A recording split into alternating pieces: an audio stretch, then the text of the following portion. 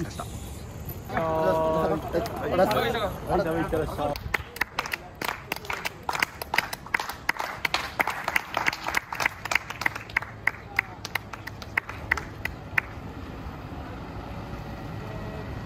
頑張って。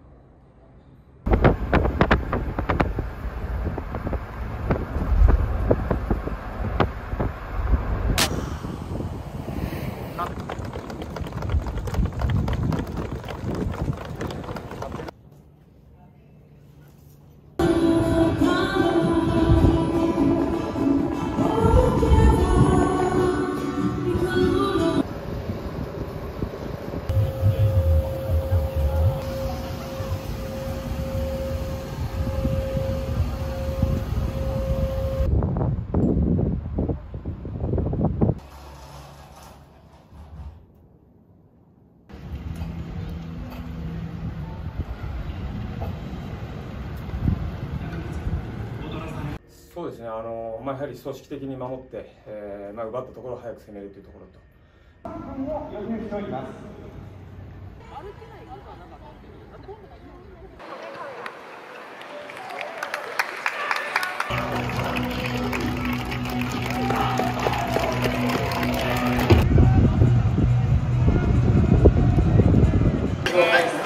スクを外す場合は、アイマーは発声を控えてい。ただき、咳エチケットにご配慮ください。は、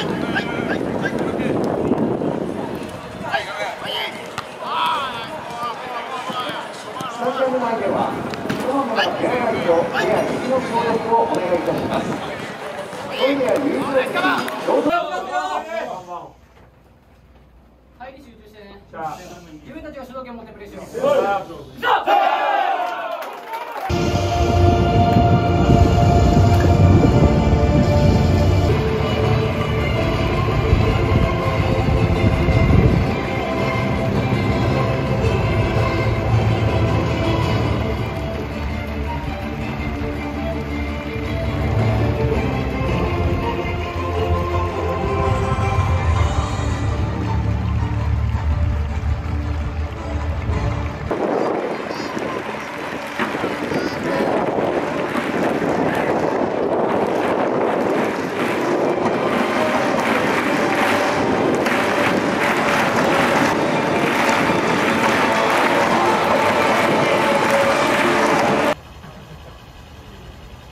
そんな中で前半の先制点、えー岩竹選手にとっては J リーグ初ゴールとなりましたが改めてどんなお気持ちですか？